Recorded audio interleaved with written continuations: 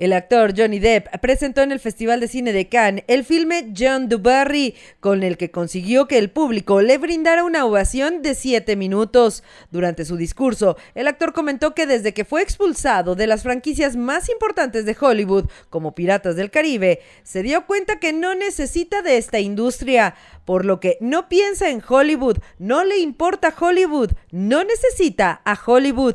Depp comentó que llegó a dicha conclusión después de que fue despedido de las películas más taquilleras de Hollywood, sin pruebas de las acusaciones, y aprovechó la oportunidad que le presentó la vida para explorar una etapa bastante extraña, donde se muestra cómo realmente es, sin sentir vergüenza.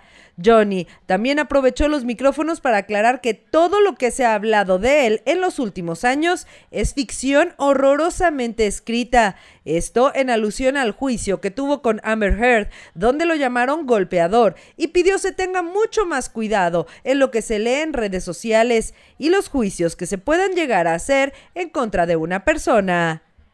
Espectáculos Noti 13, Katia Plasencia.